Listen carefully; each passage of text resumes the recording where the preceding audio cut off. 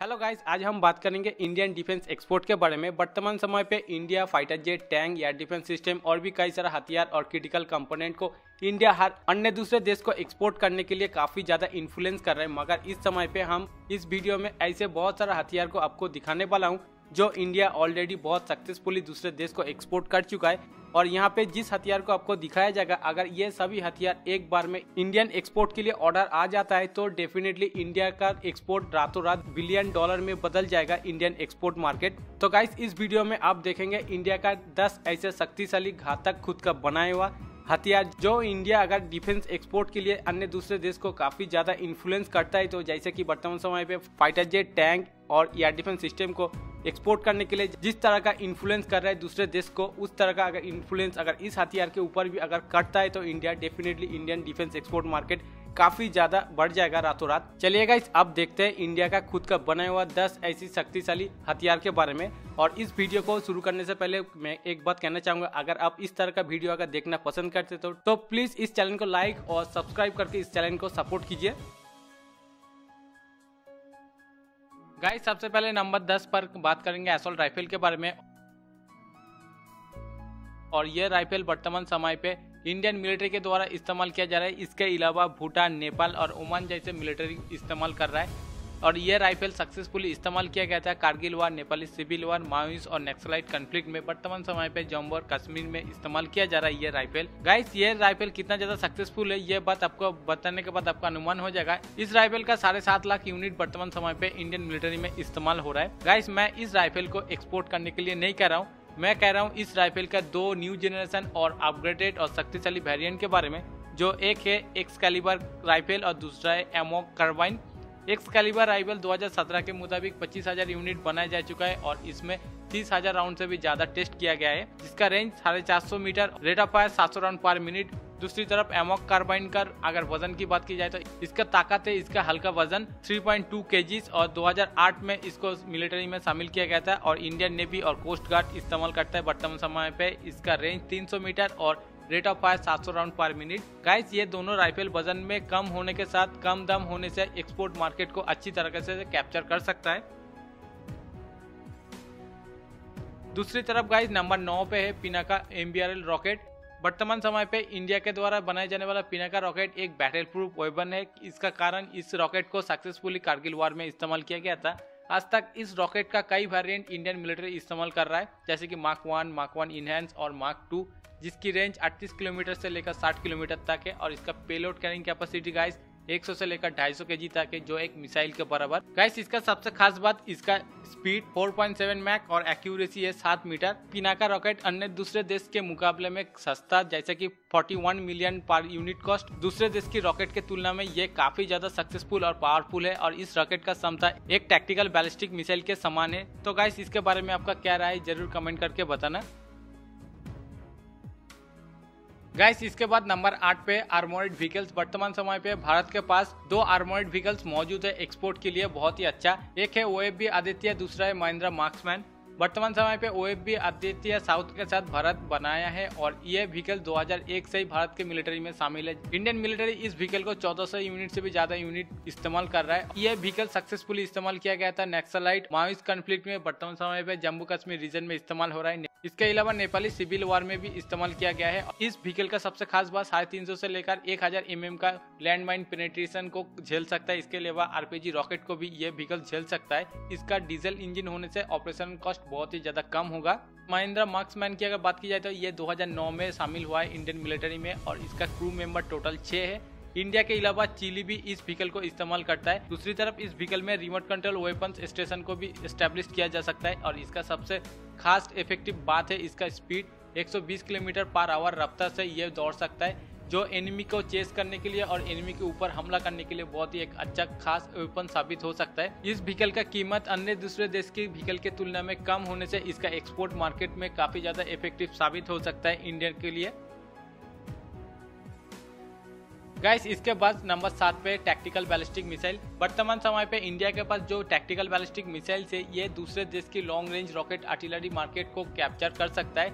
क्योंकि वर्तमान समय पे भारत के पास जिस बैलिस्टिक मिसाइल के बारे में कहने जा रहा हूँ इसका स्पेसिफिकेशन अगर आप देखोगे तो ये दूसरे देश के लॉन्ग रेंज रॉकेट आर्टिलरी के तुलना में वज़न में हल्का और काफ़ी शक्तिशाली बैलिस्टिक मिसाइल साबित होगा। जैसे की देखा जाए तो भारत के पास पढ़ा सीरीज़ का बैलिस्टिक मिसाइल मौजूद है, जो टेक्टिकल बैलिस्टिक मिसाइल से इसका रेंज 150 से 200 किलोमीटर तक और इसका स्पीड मार्क थ्री से भी ज़्यादा और इसका सबसे खास बात, ये 35 किलोमीटर ऊंचाई में उड़ने में कैपेबल है। इसका एक्यूरेसी है सिर्फ़ 10 मीटर। गाइस इस बैलिस्टिक मिसाइल का अगर टोटल वज़न की बात की जाए तो ये 1280 केजी है और पेलोड कैरिंग कैपेसिटी है 250 केजी। गाइस पहाड़ मिसाइल का रेंज है 150 किलोमीटर और प्रागति मिसाइल 170 और प्रनस मिसाइल का 200 किलोमीटर है। गाइस इस मिसाइल का प्राइस बहुत ही ज़्यादा कम होने से दूसरे देश में लॉन्ग रेंज रॉकेट आर्टिलरी का एक्सपोर्ट मार्केट को काफ़ी अच्छी तरह से कैप्चर कर सकता है। भारत अगर इस मिसाइल को एक्सपोर्ट मार्केट में उतरता है तो इसका रिज़ल्ट कितना अच्छा होगा ये ज़रूर आप कमेंट करके बताना। तो गाइस इसके बाद नंबर छह पे क्रूज मिसाइल वर्तमान समय पे क्रूज मिसाइल के नाम पर भारत के पास मौजूद है रसिया और इंडिया का जॉइंट वेंचर ब्रह्मोस मिसाइल जो भारत के पास सबसे ज़्यादा शक्तिशाली क्रूज मिसाइल कहा जाता है। इसके अलावा दुनिया में सबसे ज़्यादा स्पीड वाला क्रूज मिसाइल ये ब्रह्मोस मिसाइल है, जिसका स्पीड फोर मैक बताया जाता है। और ये मिसाइल कई रोल में भी इस्तेमाल किया जा सकता है, जैसे की यार to surface antiship missile surface to surface land attack cruise missile role में भी इस्तेमाल किया जा सकता है। गाइस, इसका सबसे खास बात, इसका एक्यूरेसी इसका एक्यूरेसी है एक मीटर और इसका सबसे पहला इंटरनेशनल एक्सपोर्ट कस्टमर है फिलीपाइंस। गैस ये मिसाइल अब एक्सपोर्ट मार्केट में उतर चुका है और इसका फिलीपीन के बाद बहुत सारा देश इसको इवेल्युएट कर रहा है, जो भारत के एक्सपोर्ट मार्केट के लिए बहुत ही ज़्यादा खास होने वाला है आने वाले वक्त में। नंबर पाँच पे है यूटिलिटी हेलीकॉप्टर और वर्तमान समय पे इंडिया का खुद का बनाया हुआ Dhruv helicopter Indian export market में और इंडियन मिलिट्री के लिए काफ़ी सक्सेसफुल हेलीकॉप्टर साबित हो रहा है। इसका कारण इसका कम कीमत होने से अन्य दूसरे देश के हेलीकॉप्टर के तुलना में ये इंडिया का एक्सपोर्ट मार्केट को काफ़ी ज़्यादा इफ़ेक्टिव कर रहा है। और एक बात कहना चाहूँगा, ये हेलीकॉप्टर आज तक 360 यूनिट से भी ज़्यादा यूनिट बनाया जा चुका है और इसका यूज़र लिस्ट में मौजूद है मालदीव, नेपाल इसराइल पेरू और तुर्की जैसा देश। गाइस इसके अलावा रुद्रा नाम का इसका एक कॉम्पैक्ट वेरिएंट मौजूद है और ये स्पेशल मिशन के लिए इस्तेमाल किया जाता है, जो इंडियन मिलिट्री वर्तमान समय पे 90 यूनिट इस्तेमाल कर रहा है और 25 यूनिट ऑर्डर में है और इस हेलीकॉप्टर में 20 एम और 7.2 एम का कैनन भी इस्तेमाल किया जा सकता है। इसके अलावा Mistral class missile, rocket ATGM missiles antiships और टॉर्पीडो जैसा मिसाइल को फायर किया जा सकता है। नंबर चार पे एल हेलीकॉप्टर और ये इंडिया का सबसे पहला कॉम्पैक्ट हेलीकॉप्टर और इसके अलावा दुनिया का सबसे ज़्यादा हाई सर्विसिलिंग वाला कॉम्पैक्ट अटैक हेलीकॉप्टर है। ये हेलीकॉप्टर स्पेशली फोकस करके बनाया गया है। हाई माउंटेन एरिया और घने जंगल एरिया को फोकस कर कर। और एक बात कहना चाहूँगा, वर्तमान समय पे ये आठ यूनिट बनाया गया है और इंडियन आर्मी इसका नंबर 100 से लेकर 150 यूनिट तक ले जाएगा। और एक बात कहना चाहूँगा, इसका और एक खास इफ़ेक्टिव कारण है, इसका कम कीमत होना, क्योंकि इसका सिर्फ़ 15 से लेकर 20 मिलियन यूएस डॉलर इसका कीमत है। इसका कम कीमत एक्सपोर्ट मार्केट में काफ़ी ज़्यादा इफ़ेक्ट डाल सकता है। एक बात कहना चाहूँगा, यह हेलीकॉप्टर में 20 एम का कैनन भी इस्तेमाल किया जा सकता है। इसके अलावा 50 रॉकेट को भी इस हेलीकॉप्टर से फायर किया जा सकता है। इसके अलावा आठ मिस्टल क्लास मिसाइल और एटीजीएम जैसा मिसाइल 16 मिसाइल को फायर किया जा सकता है। नंबर तीन पे ट्रेनर एयरक्राफ्ट वर्तमान समय पे अफ्रीका और लातिन अमेरिका में ऐसा बहुत सारा देश मौजूद है जो उस देश का एयरफोर्स एक प्रॉपरली फाइटर जेट को अफोर्ड नहीं कर सकता है। इसके बदले में ट्रेनर एयरक्राफ्ट से अपना एयरफोर्स को ऑपरेट करता है। तो गाइस यहाँ पे इंडिया अपना खुद का बनाया हुआ ट्रेनर एयरक्राफ्ट उस देश को एक्सपोर्ट के लिए पुश कर सकता है और यहाँ पे इंडिया का एक स्मार्ट मूव होगा। अपने डिफेंस सेक्टर में भी और एक्सपोर्ट मार्केट में भी। गाइस वर्तमान समय पे इंडिया अपना खुद का बनाया हुआ H J T sixteen Kiran नाम का ट्रेनर एयरक्राफ्ट इस्तेमाल कर रहा है, जो 180 यूनिट से भी ज़्यादा यूनिट है। ये एयरक्राफ्ट इंडिया पूर्ण सदस्य रूप में अपने देश में ही विकसित किया है और इसका एक अपग्रेडेड वेरियंट बहुत जल्द इंडियन एयरफोर्स में शामिल होने वाला है। H L H J T thirty six Sitara नाम का एक ट्रेनर एयरक्राफ्ट जो कैपेबिलिटी में हुडजेट और याक वन थर्टी का समान होगा। गाइस इसके बाद हम बात करेंगे नेवी के तरफ़ और यहाँ पे वर्तमान समय पे इंडिया अपने नेवी के लिए 80 परसेंट इक्विपमेंट खुद बना रहा है। हर एक चीज़ जो इंडियन नेवी को ज़रूरत है, वो चीज़ इंडिया खुद बनाता है इस समय पे।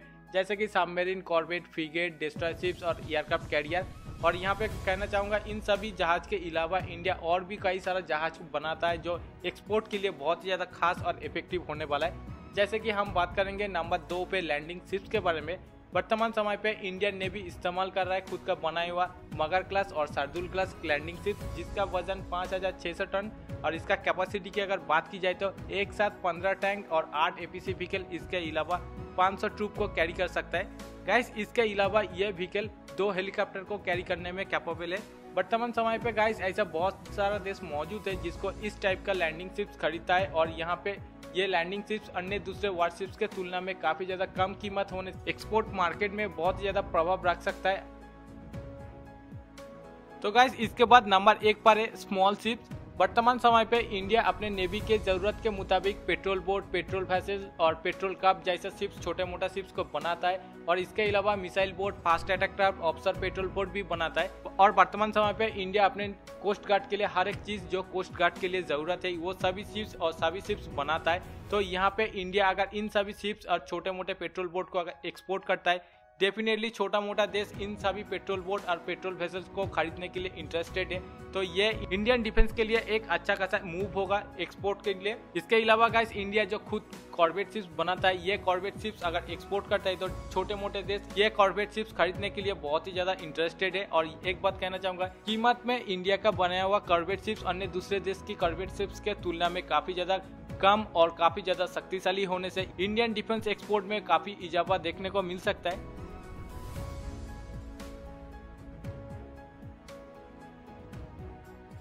तो गाइस ये था इंडिया का खुद का बनाया हुआ टॉप टेन शक्तिशाली हथियार का लिस्ट जो एक्सपोर्ट के लिए बहुत ही एक अच्छा ऑप्शन हो सकता है। इसके बारे में आपका क्या राय है प्लीज़ कमेंट करके बताना। इतना देर तक वीडियो को देखने के लिए thank you very much thank you for watching